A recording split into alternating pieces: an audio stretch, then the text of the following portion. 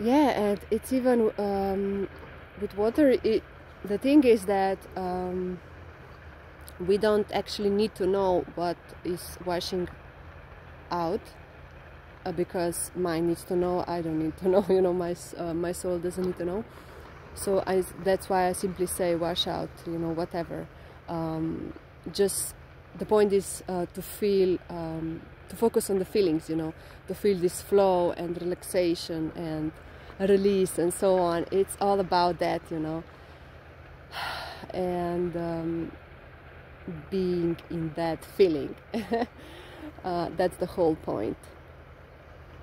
Uh, so enjoying uh, and letting the process happen itself